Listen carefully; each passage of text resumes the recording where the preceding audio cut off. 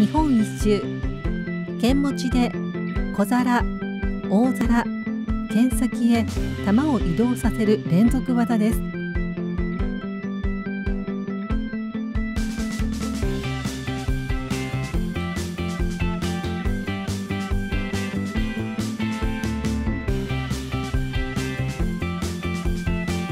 やり方。玉を引き上げ手首をひねりながら玉の穴が自分の方を向くように小皿を完成させます。玉を投げ上げ同じように玉の穴が自分の方を向くように大皿を完成させます。玉を投げ上げ玉の穴の位置を見ながら剣先で玉の穴を受け止めます。ポイント。玉は上げすぎず玉の穴位置を変えず落とすようなイメージでやります。